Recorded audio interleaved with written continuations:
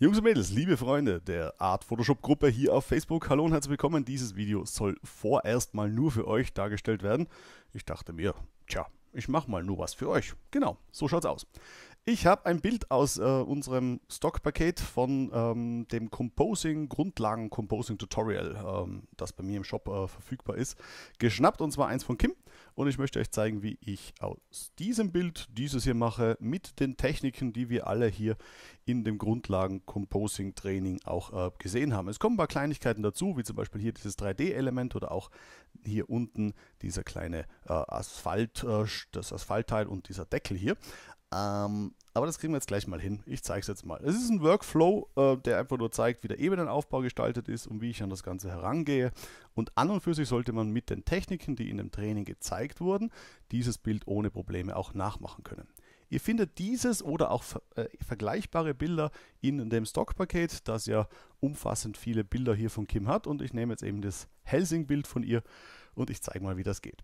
Bild wird reingeladen, wurde ein bisschen zugeschnitten, ähm, damit es ein bisschen enger ja, dargestellt ist, weil über dem Kopf war ein bisschen viel Platz.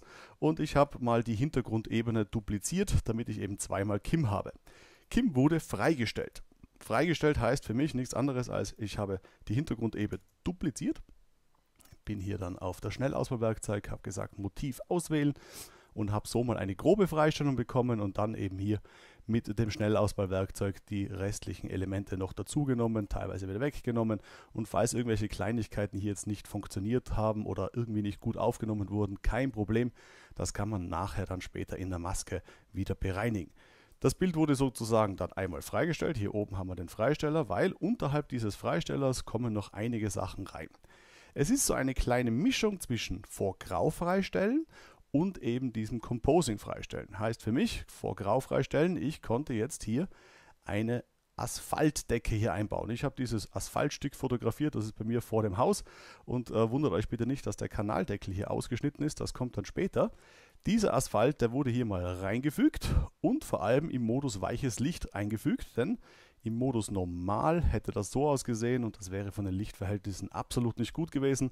Im Modus weiches Licht vermischt es sich einfach mit meinem Hintergrund, der bei Kim hier ohne Probleme nach hinten hin wirklich dunkel wird und somit habe ich auch die Schatten von Kim und ähm, ja, das ganze Lichtverhältnis und den Verlauf hier mal schön mit dem Asphalt hier zusammengebracht. Schalten wir Kim oben wieder ein, so sieht es aus. Dann kam der Kanaldeckel. Der Kanaldeckel selbst, das ist ein 3D-Element, das habe ich vom Pixel Squid. Pixel Squid, das habe ich auch schon einige Mal erklärt. Na super, jetzt haut es nicht hin bei mir, weil ich nicht im Internet bin. Ähm, das ist ähm, dieses 3D-Programm, wo ihr verschiedene 3D-Elemente hier in das Bild einfügen könnt. Muss jetzt nicht zwingend gemacht werden. Ihr könnt natürlich auch selbst einen Kanaldeckel hier fotografieren.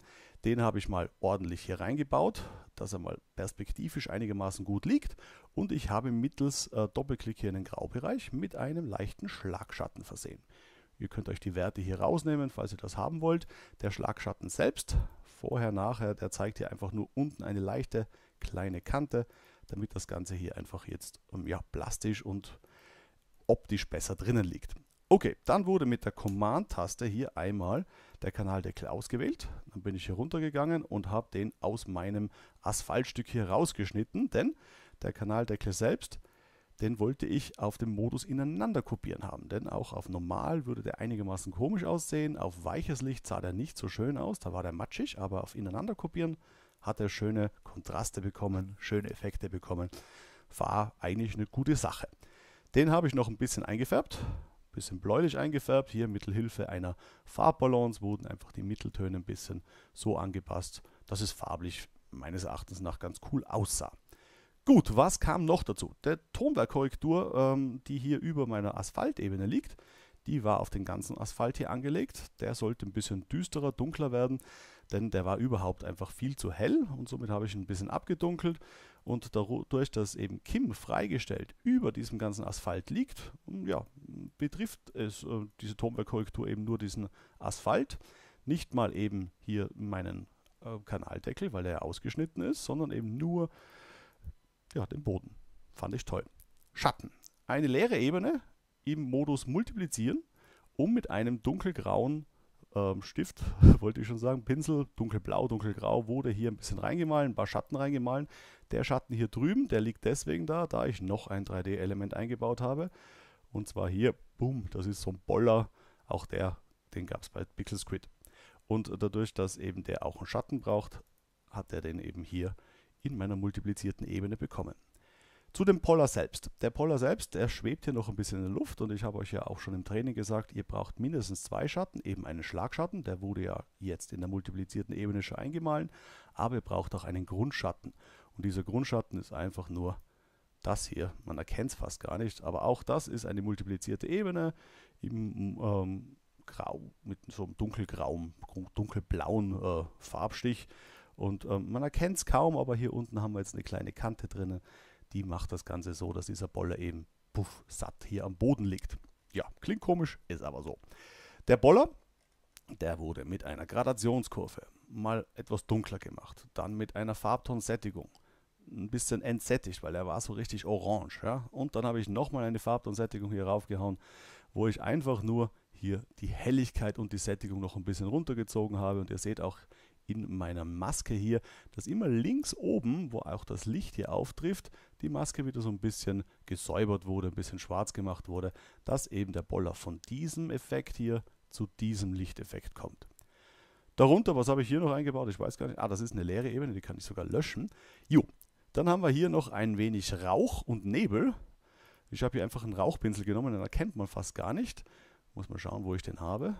Ah, ist eh aktiviert gerade, den haben wir hier bei unserem Nebelpaket. Und den müsst ihr aber auch in diesem Download-Paket von den Grundlagen hier auch mit dabei haben. Den dürfte ich euch dazugelegt haben. Dieser Pinsel wurde auf 40% Deckkraft gestellt und damit wir eben hinten hier so ein bisschen, ja, einen Cosplay-mäßigen Rauch haben, habe ich den ein bisschen bläulich, lila eingefärbt. Sah toll aus, fand ich cool. Was haben wir hier noch? Selektive Farbkorrektur. Erkennt man fast gar nicht. Okay, auch da hm, schlagt mich nicht. Ab und zu kommt eine Ebene während dem Bildbearbeiten hinzu, wo ich nicht so ganz genau weiß, warum ich sie am Schluss eigentlich gemacht habe. Es sah wahrscheinlich cool aus damals und ähm, ja, jetzt tut es das nicht mehr. Ja, man sieht, der Asphalt ist ein bisschen gelblich und ich habe hier einfach ein bisschen eine bläuliche Stimmung darüber gemacht. Ist so minimal, dass es fast nicht auffällt.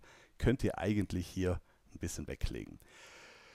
Was haben wir hier noch? Genau, Farbstimmung. Eine ähm, Tonwert, nein, eine Farbbalance in den Mitteltönen ein bisschen ins Rot-Gelbliche gezogen. Auch in den Lichtern müsste hier was verändert worden sein und natürlich dann auch in den Tiefen. Alles eher so ein bisschen ins Gelblich-Rötliche, damit wir von hinten so eine Art Schein von einer Laterne oder von einem Auto haben. Macht das Ganze so ein bisschen von den Farben her zweidimensional. Also man sagt immer, man versucht zwei komplementäre Farben hier in ein Bild reinzubringen. Auch wenn Kim hier eher rot trägt und ein grüner Schein hier besser wäre. Grün sah bescheiden aus und deswegen habe ich mich entschlossen, nehme ich doch ein bisschen was Gelbliches, das eben zum blauen Hintergrund passt. So, damit hat man alles jetzt mal hinten gemacht. Jetzt kommt vorne. Ich habe auf dieser freigestellten Ebene von Kim eine leichte Beauty-Retusche angewandt, aber bei Kim ist Beauty-Retusche eher ja, Augenauswischerei. Die hat so eine schöne Haut, da muss man fast gar nichts machen. Ich habe dann noch eine leichte Foundation darüber gelegt. Das ist eine Aktion, die ich mal irgendwann geschrieben habe. Da könnt ihr einfach, äh, ja, wie soll ich sagen? Ja, das ist, das ist jetzt ein bisschen komplizierter. Das ist eine Aktion, die schaut so aus. Und ihr seht, äh, da weiß ich selbst nicht mehr ganz genau, was ich gemacht habe. Es ist eine Haut-Foundation-Aktion, die das Ganze ein bisschen weicher macht, ein bisschen seidiger macht und die Glanzlichter so ein bisschen schöner bearbeitet. Aber vielleicht habt ihr andere Techniken, die ihr Beauty-Retusche-mäßig hier gerne nutzen wollt. Nutzt die. An und für sich reicht es hier mit dem Ausbesserungswerkzeug oder mit dem Stempelwerkzeug kleine Hautunreinheiten rauszunehmen und damit ist die Haut von Kim eigentlich schon perfekt. Sonst gab es am Körper bzw. auch an der Waffe nichts zu retuschieren, sah alles gut aus. Ich bin hier nur noch mal in der Maske des Freistellers ein bisschen durchgegangen, weil ab und zu mal gerade beim Tattoo hier tat sich eben hier das Freistellungswerkzeug ein bisschen schwieriger und da musste ich mit einem Pinsel hier noch ein bisschen nachfahren. Auch die Haare wurden teilweise noch ein bisschen überarbeitet. Das war aber echt eine kleine Arbeit, also das ganze Composing selbst hat ungefähr 25 Minuten gedauert, bis es dann fertig war. Was kam dazu? Ich habe eine normale Ebene nochmal mit Rauch versehen, damit ich vor Kim hier eben auch noch ein bisschen was an Rauch und Nebel habe. Das ist eher so ein Dunst. 20, 30 Prozent Deckkraft und ich habe hier teilweise eben Farben aus dem Hintergrund genommen, aus dem Orange hier, aus dem Blau hier vom Kanaldeckel und so konnte ich so eine leicht seidige Stimmung nochmal darüber legen. Das separiert das Model nochmal ein bisschen vom Hintergrund, das ist schön, also man hat irgendwie zwischen Kamera und dem Model noch so eine leichte Dunstebene drinnen und es wirkt so ein bisschen realer. Kommen wir mal zu dem Look. Der Look war eine Gradationskurve, die wie eine Vignette angewendet wurde. Die Gradationskurve selbst, seht ihr, die wurde einfach hier in der Mitte ein bisschen runtergezogen und die Maske so ausgearbeitet, dass in der Mitte Kim genauso hell blieb, wie sie eben war. Nur die Ränder wurden ein bisschen ja, dunkler gemacht, um den Blick des Betrachters eben auf die Mitte hier zu zwingen. Ein Color Lookup Wobei bei Color Lookups, ich, ich sehe gerade, der ist eigentlich auf 7% Deckkraft. Da probiere ich immer rum. Also bevor ich irgendwelche Looks mache, haue ich mir einfach mal ein Color Lookup rein und schau mal, mh, hm, vielleicht würde es ja in diesem Lookup cool aussehen oder in dem. Und ich habe hier diesen Filmstock Lookup eigentlich ganz cool gefunden, weil es zu einem Composing an und für sich gar nicht so schlecht passt. Habe dann aber doch die Deckkraft so extrem runtergeschraubt, dass das Ganze eben ja, fast nicht mehr erkennbar ist. Die Highlights kommen ein bisschen raus. Dieser Color Lookup von diesen Filmstocks hat so ein bisschen den Effekt, dass man sich die Dodge and Burn Geschichte danach spart, weil man eben dunkle Bereiche etwas dunkler bekommt und helle ein bisschen heller.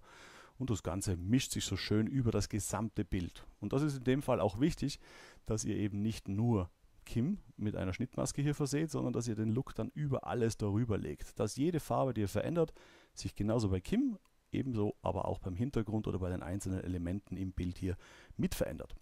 Danach wurde alles mit Command Alt Shift und E zusammengefügt und zu einem Camera Raw Look Filter umgebaut. Das heißt, mein Bild wurde mit Hilfe eines Rechtsklicks in ein Smart Objekt versehen und dann habe ich einen Camera Raw Filter angewandt und dieser Camera Raw Filter hat jetzt mehrere Geschichten eingebaut. Als erstes erkennt man, es ist ziemlich viel Rauschen hier im Bild. Das mache ich sehr gerne. Ihr seht, die Körnung hier ist auf 26 aufgesetzt. Vorher sah es so aus. Dank dieser Körnung aber erspare ich mir dann auch noch etwaige Retuschen in der Haut oder vielleicht auch in ganz, ganz glatt ausfotografierten Stellen. Und so fügt sich auch der Hintergrund mit dem Vordergrund schön zusammen. Dann habe ich in der Kamerakalibrierung mich ein bisschen mit den Farben gespielt. Die Tiefen blieben so, die Rottöne gingen ein bisschen nach oben, grün ebenfalls, blau nach unten. Hat den Vorteil für mich gehabt, dass ich einfach hier nochmal schauen konnte, dass die Farben schön zusammengemischt werden. Und mit diesem Kalibrierungssystem hier mache ich sehr, sehr gerne diese Farblooks. Ebenfalls aber auch mit der Teiltonung. In der Teiltonung habe ich hier die Lichter ein bisschen eingefärbt, dass sie eher diesen gelblich-orangen Look bekommen. Und die Tiefen wurden eben so ein bisschen in das Cyan-Blau, äh, Ultramarinblau-Look hier eingefärbt. Vorher sah es so aus, jetzt sieht es so aus macht eben Waffen metallischer, der Boden wirkt ein bisschen kälter und ich habe hier eben auch diese duale Farbstimmung eingebaut. Sonst wurde in den Farben hier nichts verändert, Schärfe genauso, die blieb so. Ich habe noch ein bisschen was in der Gradationskurve hier probiert und zwar habe ich versucht hier nochmals die Lichter ein bisschen rauszuholen, damit eben gerade das Gesicht von Kim und auch die Haare hier ein bisschen heller werden. Das hat den Vorteil, der Boden im Hintergrund, der wird überhaupt nicht angefasst von dieser Lichtstimmung und ich konnte hier wirklich nur noch im Gesicht und auch auf der linken Hand, man sieht sehr gut, oder auch den Schein der Waffe. Da kann man hier wirklich cool noch separat ähm, seine Lichtstimmung hier anpassen. In den Grundeinstellungen hier seht ihr, es wurde eigentlich nichts außer die Struktur und ein bisschen Klarheit hier hinzugefügt. Der Rest blieb wie er ist. Der Rest wurde nämlich hier noch in äh, der Kamera also in einem Korrekturpinsel gemacht. Ich habe mir einen Korrekturpinsel erstellt, wenn ich hier drüber fahre, sehe ich auch, wo der gemalt hatte. Und dieser Korrekturpinsel hat die Lichter ein bisschen nach oben gezogen, damit ich eben jetzt hier in diesem Bereich noch ein bisschen mehr ähm, Helligkeit reinbekomme. Einfach die Belichtung ein bisschen rauf, Korrekturpinsel einstellen und dann kann man hier wunderbar Teile des Bildes wieder leicht aufhellen und somit einen komplett anderen Lichtschein oder eine Lichtsituation erzeugen. Das funktioniert hier im Camera Raw Filter extrem gut in Kombination mit hier diesem Filter, dem Radialfilter. Und der Radialfilter, der sollte eigentlich hier sein. Ich habe ihn nur nicht mehr gefunden. Keine Ahnung, wo der ist. Radial, ah, da ist er. Da ist er. Wenn man drüber fährt, sieht man, alles was grün ist, wurde von dem Radialfilter hier ähm, ja, mit eingenommen. Das Rest wurde ausgespart und ich habe im Radialfilter nichts anderes gemacht als hier die Belichtung nach unten, Kontraste nach oben, die Weißwerte nach unten, dass all diese Bereiche hier außenrum noch ein bisschen dunkler werden. Dann kann man den Radialfilter hier auch drehen und somit auch den Bildaufbau schön diagonal gestalten. Und somit haben wir ein X drinnen. Das heißt, mein Radialfilter geht hier von links unten nach rechts oben und die Waffe geht eigentlich von links oben nach rechts unten. Das macht das Ganze interessant von der Bildsprache her. Das Ganze wurde bestätigt. Ich spreche es jetzt ab, weil ich habe hier nichts gemacht. Habe mich dann dazu entschlossen, dennoch alles nochmal zusammenzurechnen. Ich habe nochmal Command, Alt, Shift und E gemacht. Also das ist jetzt die Ebene 10, die ich jetzt mit euch bearbeite ging dann nochmal hier in den Filter, rein in den Camera Raw Filter und habe ein bisschen Nebel eingebaut. Den kann man, indem man den Dunst entfernen Filter hier nutzt, sehr gut nehmen. Ich ziehe den Dunst nach, äh, entfernen Filter hier ganz nach links oder fast ganz nach links, sage OK, bekomme somit ein ziemlich schales Bild, drücke jetzt die Alt-Taste, klicke hier auf meine Maske und habe jetzt die Möglichkeit mit Hilfe eines Pinsels, der eben zum Beispiel Nebel ist, hier leichten Dunst wieder über das Bild zu legen. Und das ist eine Technik, die habe ich vom EOS Andi und die ist an und für sich die interessanteste Technik, die ich kenne, um richtig realistischen Nebel oder Dunst hier in ein Bild einzubauen. Denn wenn ich nur weiß darüber male, werden auch die Farben darunter viel heller und viel intensiver. Mit dieser Technik aber wirkt das Ganze so, als wäre hier wirklich etwas Dunst im Bild und man verliert Sättigkeit, man verliert Kontraste. Es ist einfach eine schöne Technik, die am Ende eines Bildes dann wirklich nochmal so ein bisschen alles zusammenschmiegen. Ihr seht, das ist nicht viel. Dann kam noch ein Logo rein. Und ganz am Schluss habe ich mir gedacht, als ich eine Tasse Kaffee getrunken habe und gemeint habe, okay, jetzt schicke ich es Kim, weil die hat heute Geburtstag, ähm, mache ich noch ein bisschen Farblook darüber. Und der Farblook ist so der klassische Look, den ich momentan sehr liebe. Ich habe die Weißtöne ein bisschen ins Zyan gezogen und auch ins Gelb. Habe die Schwarztöne hingegen ein bisschen ins Blau gezogen. Und die Mitteltöne wurden hier nur minimal angepasst. Und somit konnte ich dann so einen Effekt erzielen, dass das Ganze so ein bisschen gezeichnet, ein bisschen comic-mäßig aussieht. Und damit hätte ich mein Composing an und für sich fertig. Es ist kein gigantisch aufwendiges Composing, aber es ist durchaus etwas, das ihr unter Umständen jetzt mit Hilfe von diesem Video und den Bildern, die ihr eben in diesem Paket mitbekommen habt, ähm, ja, nachbauen könnt. In diesem Sinne, falls ihr ein cooles Bild für Kim habt, postet es vielleicht heute noch. Die hat, wie gesagt, heute Geburtstag, freut sich bestimmt über Bildmaterialien, die sie gerne herzeigt. Ich sage herzlichen Dank dafür, dass ihr in der Gruppe seid. Ähm, falls ihr euch für dieses Training interessiert, schaut auf meine Seite und ähm, ich die verlinke ich natürlich jetzt unterhalb hier irgendwo noch im Video. Und äh, ich würde euch sagen, haltet die Ohren steif, tragt Masken und äh, macht Photoshop ohne Ende. Jetzt habt ihr Zeit dafür. Schweig Ober and out.